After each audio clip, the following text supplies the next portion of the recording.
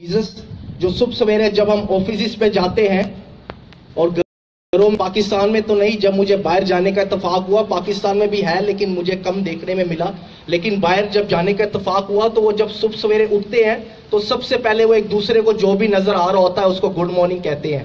تو یہاں پہ تو یہ رواج کا نہیں ہے، لیکن ہم اس پر پروگرام ہم نے آرگنائز کیا ہے گڈ مارننگ جیزس کا۔ اور صبح سویرے جب سب سے پہلے ہم اٹھیں تو خداون یسو مسیح کو گڈ مارننگ کہیں اس کے ساتھ ساتھ ٹاک شوز ہم نے پروگرام میں کرنے ہیں اور ٹاک شوز بیسیکلی ان ایشوز پر کریں گے آج مسیحی قوم کی جو حالت ہے۔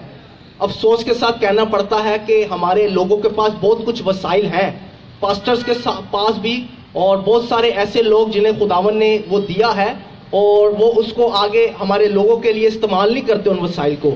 تو بیسیکلی یہ ٹاک شوز کا ایک ہوگا جس کا ہم نے ترتیب دیا ہے عدیل آن لائن میں۔